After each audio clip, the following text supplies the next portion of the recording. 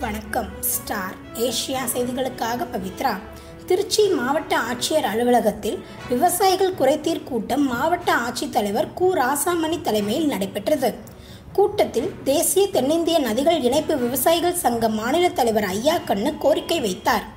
அதில் திருச்சி விமான நிலைய விரிவாக்கத்திற்காக விவசாய நிலத்தை கையகப்படுத்தக்கூடாது என்ற தடை உத்தரவு இருக்கும் நிலையில் அப்பகுதியில் வீடுகளுக்கு மின் இணைப்பு துண்டிப்பு மேலும் தேவையற்ற நடவடிக்கை எடுப்பது தவறான செயல்.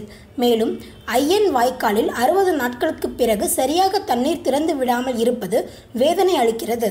எனவே ஆட்சியர் மேற்கொண்ட கோரிக்கைகளுக்கு உரிய நடவடிக்கை எடுக்க வேண்டும் என கூறினார்.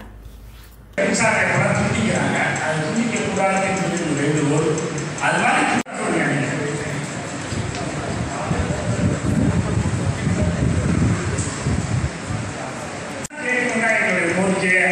அரசு அதிகாரிகள் கூட இப்போ ஐயா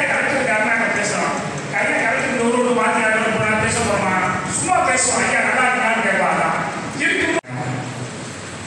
திருச்சி விமான நிலைய விரிவாக்கத்திற்காக நலமாக இருக்கக்கூடிய அப்படின்னு சொல்லியிருக்காங்க. ஹைகோர்ட்டில் ஸ்டே